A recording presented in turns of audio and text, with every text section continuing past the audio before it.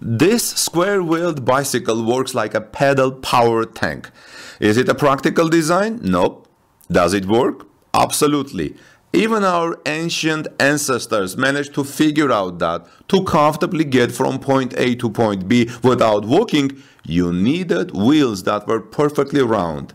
And yet, the determined engineer behind the YouTube channel The Q managed to build a bicycle with square wheels that rolls as comfortably as a bicycle without um, with round ones. Welcome back everyone. This is Armen Hareyan from torquenews.com. You're about to see how this bicycle goes on road and what kind of sound it makes. But let me first tell you how he managed to build it. This guy whose video is going viral now on the internet has designed and built a bicycle with square wheels and it actually works created by YouTube YouTube channel called The Q. The crazy video was posted just uh, in April and it's already amassed nearly uh, 10 million views already. We can see why too. This thing takes reinventing the wheel to a whole new level.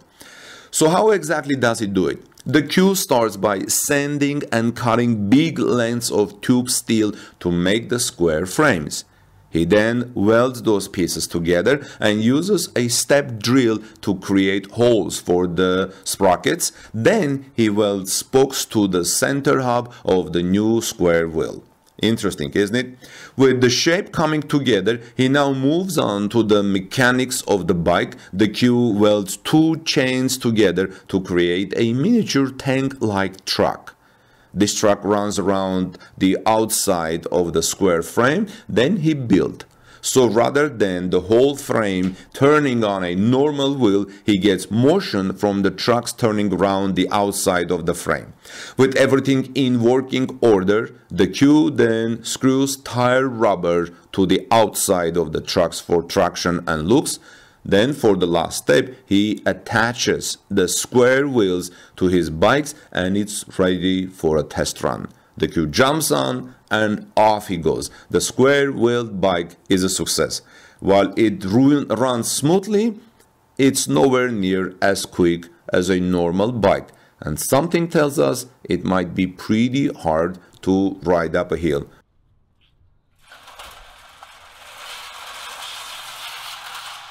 So what do you think about the scringy sound? So uh, scratching sound actually. So inventive, absolutely inventive.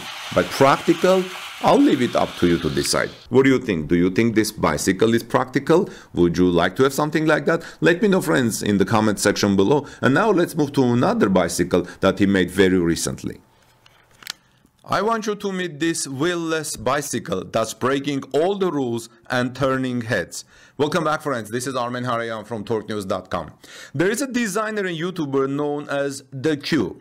He makes interesting bicycle, sometimes um, square-wheeled bicycles, sometimes other types of bicycles, but this one is without wheels and goes against all the rules.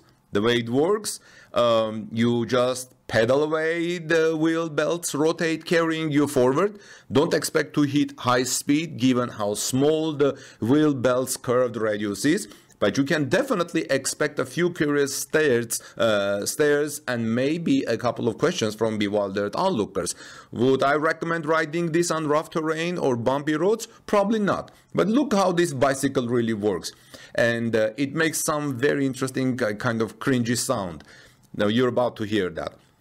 To build the wheelless bicycle, the Q found himself a bike frame uh, the wheel without the wheels. Instead of installing the conventional circular wheels, though he used linear metal members uh, with chains mounted on the rim and uh, rubber thread around the chains, like the wheel belts seen on tanks.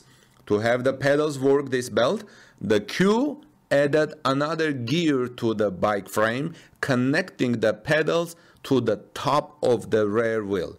To secure the wheels in place, they were then fixed at two points, allowing them to hold their angular mounting positions as you rode the bicycle.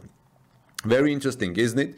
The entirely silent YouTube video that he has posted on his channel, and I will have the link in this video, um, doesn't provide much scope for justification. For example, why angle the threads when you could make them flat like a tank for extra, extra stability? Or why build something as absurd as this at all? However, the 6 minute 47 second visual journey the Q takes on his on is quite a fun ride, just like his bicycle, I suppose. So what do you think about this bicycle? Let's hear the sound how it goes.